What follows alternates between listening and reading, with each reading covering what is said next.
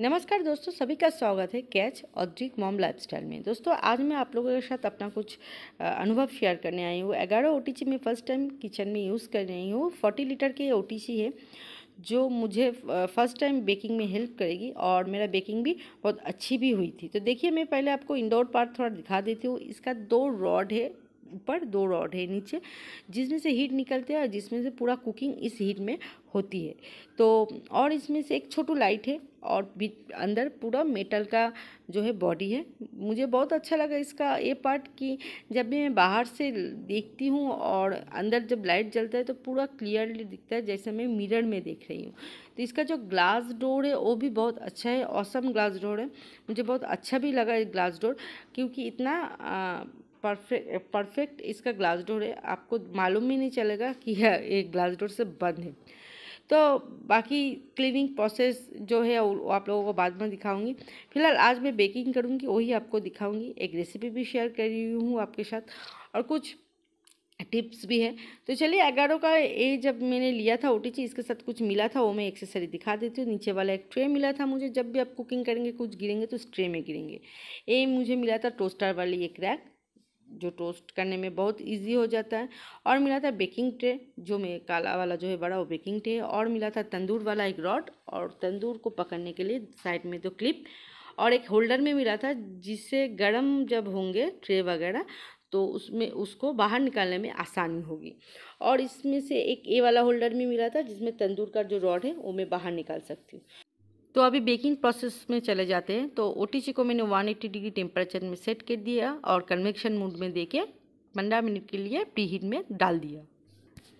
चलिए केक का मेज़रमेंट बता देती हूँ। अभी दो कप आटा हाँ दोस्तों, आटा का केक मैं बनाऊँगी और डेढ़ कप छी पिसी हुई चीनी।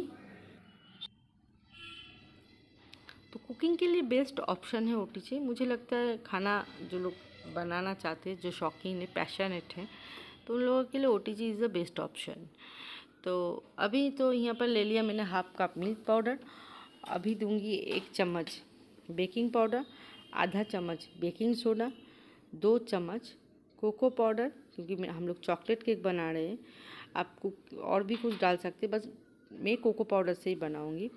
दे दिया यहाँ पर हाफ़ चम्मच सिनेमन पाउडर और अभी इसको मिक्स करेंगे बटर से। एक कप बटर मैंने इसमें डाल दिया, थोड़ा सा रख दिया।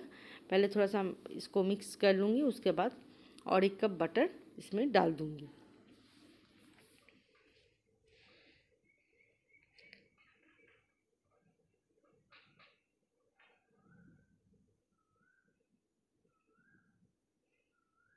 मुझे लगता है जो लोग पैशनेट हैं और घर में बच्चे वगैरह अगर होंगे तो ओ रखना ज़रूरी है क्योंकि वो लोग बाहर का खाना जितना कम खाए उतना अच्छा है। तो यहाँ पर मैंने दे दिया है दो कप आ, मिल्क। तो इसमें अभी अच्छी तरह से मुझे ये रेडी करना है। लम्स वगैरह ना आ रहा है। तो ये मेरा रेडी हो गया। एक चम्मच वनीला एसेंस देके इसको मिक्स कर लूँगी। अभी मैं ट्रे जो है इसमें ग्रीस कर रही हूँ बटर का। ये मेरा बन रोटी वाला पाव वाला ट्रे है बट इसी में मैं केक आज बनाऊँगी। तो चलिए, मैंने इसमें पेपर दे दिया, लेकिन आप नहीं भी दे सकते हैं।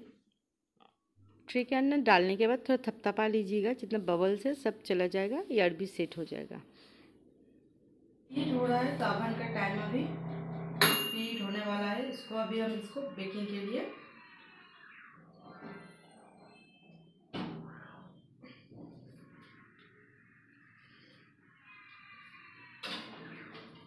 केक कंटेनर को मैंने दे दिया अंदर। अभी जो टाइम सेट करना है तो मैं इसको thirty minute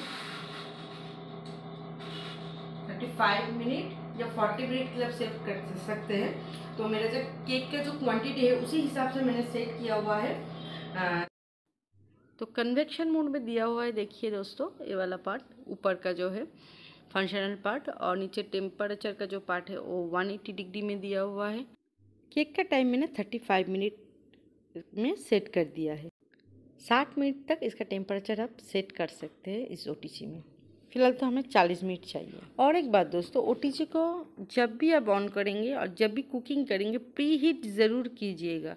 अब प्री हीट नहीं करेंगे तो खाना आपका जो कुकिंग जो है, वो आपका ठीक ठाक से नहीं होगा दोस्तों। और हो सकता है कुकिंग आपका ख़राब भी हो जाए तो इसलिए प्री हीट ज़रूर कीजिएगा। और और एक बात है कि टाइम वगैरह ठीक ठाक से अगर सेट कर लेंगे तो खाना आपका ठीक ठाक से ही बन जाएगा। अगर नहीं भी हुआ तो फिर से आप दस पंद्रह मिनट एक्स्ट्रा भी दे सकते हैं। बीस मिनट का टाइम सेट किया, उसमें नहीं हुआ, फिर से आप पंद्रह मिनट दे सकते हैं। तो देखिए, मेरा केक बन के रेडी हो गया। बहुत अच्छा केक बना। पहले तो मैं पैन में या कढ़ाई में बनाती थी। फ़र्स्ट टाइम मैंने ओ में बेक किया। I happy for my cooking because ग्यारह ओ तो देखिए मेरा cake very very soft and floppy भी हुआ है तो आप लोग ज़रूर ट्राई कीजिएगा और मेरा वीडियो अगर अच्छा लगे तो आप लोग प्लीज़ लाइक ज़रूर कीजिएगा नए हैं तो चैनल में ज़रूर सब्सक्राइब कर लीजिएगा दोस्तों फिर मुलाकात होगी अगली वीडियो में 눈 뜨면 눈부신 아침 햇살과 모닝콜로 너와 시